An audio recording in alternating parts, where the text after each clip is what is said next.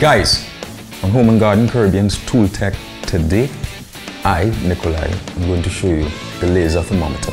Now this thermometer, man, it's so simple, so easy to use because the best part about it is you don't have to walk up to anything to check the temperature of it. You don't have to touch anything. No, no, no, no, no. You can up from a distance and aim and just press fire. You press that trigger, man. So listen, you could check out a frying pan, for instance, to make sure the food is cooking well. Press the trigger and it reads right into the little window right here.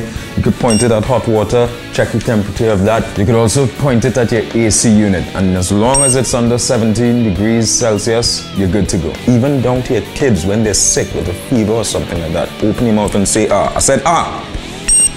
Okay, we're good. Come on, man. Is so quick, simple, easy to use, and it's instant. You can read that temperature right away. Beautiful. So yeah, you can see more of our cool tools at hgcaribbean.com or, hey, hey, you could check out our YouTube channel, HG Caribbean.